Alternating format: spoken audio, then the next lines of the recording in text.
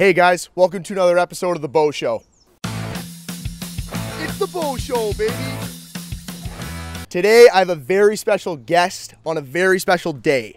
Today, May 31st, 2011, seven years ago, we got the Jets back in Winnipeg. And I have a member here, Mr. Thomas Steen, who was a member of the first Jets. Thomas, thanks for coming on the show. Appreciate it. Oh, thank you very much. And that was a really good day. I'm excited beyond words to announce our purchase of the Atlanta Thrashers.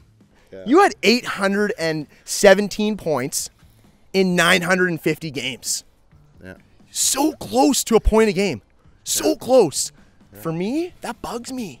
Because if, I, if I was you, I'd hop back in. Yeah, I was at like a checking center. Like, Yeah, yeah. So I played against the other team's best forwards every night. And the thing that I love about you too is you're only like 5'10, 5'11, same size as me. People say all the time, Bo, you're just a small guy. How are you so strong in the corners? I say, well, why don't you ask my boy Steiner?" Tenacious. Zhamnov following up. Zhamnov right in. Stina shot. Scores. I'm a skilled, fast forward.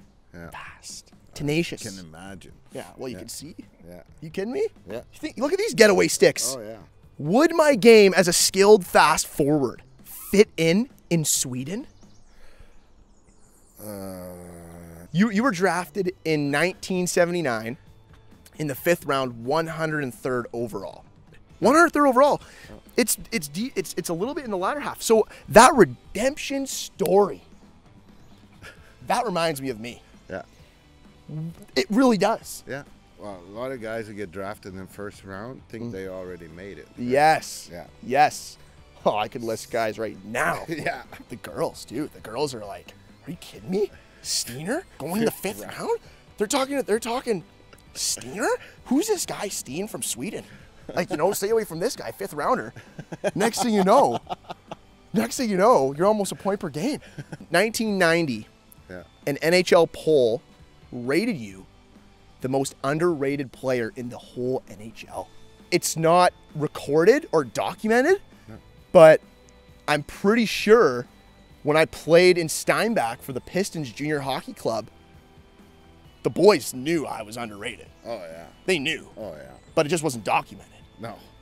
How do you put that in words? You can't. No. You can't put something like that in words. No. I mean, you guys are lucky you got the You NHL. can see it. Yeah. But you can't say it. Wow, don't even get me started on seeing it. I mean, you know, thousands of people saw it across Manitoba. It was a secret. Yeah. It's not a secret.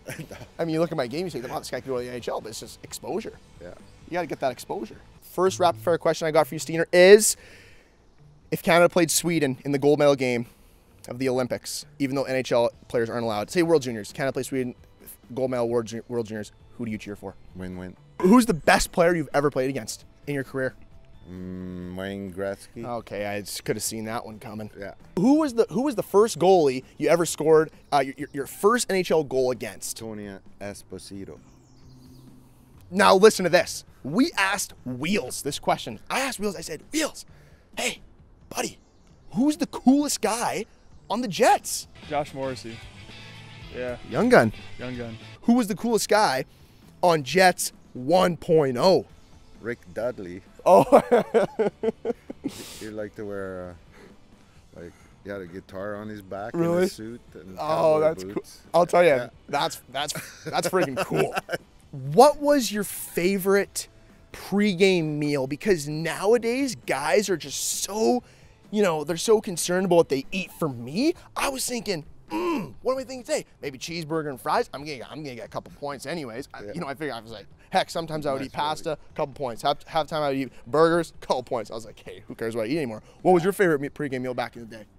Well, at the end of my career, it was pretty similar to what How it is is now. today, like with a buffet and Yeah. Mm-hmm. chicken, pasta. favorite last question because we're here at the gorgeous Camp Manitou Yeah. at the zip line Yeah, at the zip line yeah. brand new zip line added in the last few years what is your favorite camp activity I love the rink.